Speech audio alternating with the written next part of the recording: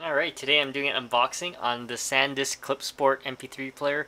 Um, it's 8 gigs, holds up to 2,000 songs, 25 hours battery life, and has a micro SD slot. Okay, so why did I pick this up? Uh, because actually I have an old SanDisk. Um, sorry, I have an old Sansa, and uh, the click wheel is actually starting to go off on it, so I picked this up.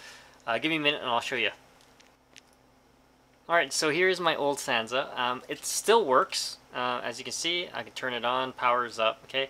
It still works, but the problem is the, the wheel here is not really registering that well. It'll go up and down, and um, it gets kind of annoying because I still I have to keep using the hold button. Uh, but um, it's, so I'll show you here. So if, if I want to go up on this, and see it goes like, it just travels without me moving it as much. So I don't know if you guys know how if, if you know how to fix it. If you know how to fix it, let me know. I'll probably take it apart and do it. But um, that's the problem with it.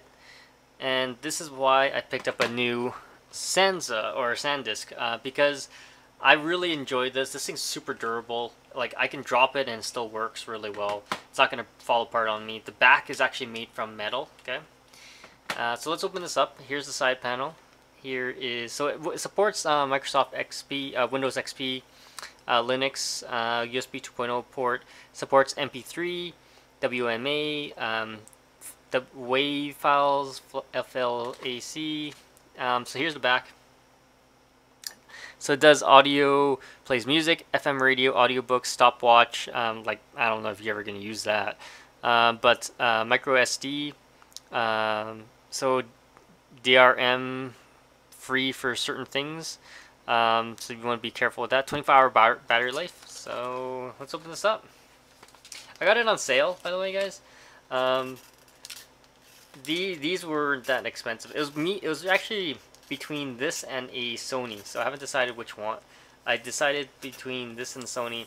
This was just cheaper, and the Sony has a proprietary charging cable, so that was really an offsetting for me. So because I'd rather charge it by micro USB because if I can, then I don't carry so many chargers around with me. So, and because I travel a lot, it's just one of those things that help. Let's open this up. Alright, here we go. Whoa, this is, there's a lot of stuff in here. And apparently you can still drag and drop on this, so this is why I also picked it up. Yo, there's a instruction manual right here. And let's get to the meat of it. Okay, this is what you get, and this is this was about fifty dollars. So it actually wasn't that expensive. Um, so this is super tiny. Look at this, and it's super lightweight. Uh, feels cheap, by the way, um, but like this feels really durable. This feels like I can step on it and it'll break. Uh, but here it is. These are click buttons. Uh, there's one drawback when I read the reviews on this is that it doesn't have a hold button. Okay, so your micro SD is there uh, headphone jack, and a clip. Micro USBs uh, and volume uh, rocker. Okay, and it also comes with your micro USB cable.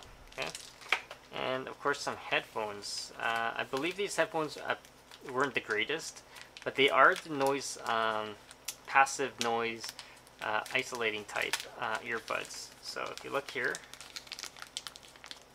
there it is right there. So you can see it has the... But um, I'll do a full review of these? Uh, in an upcoming video, I'll be comparing it with my old Sansa. And I'll show you if it's worth it. If you have any questions, comments, guys, post them below. Don't forget to subscribe to the channel.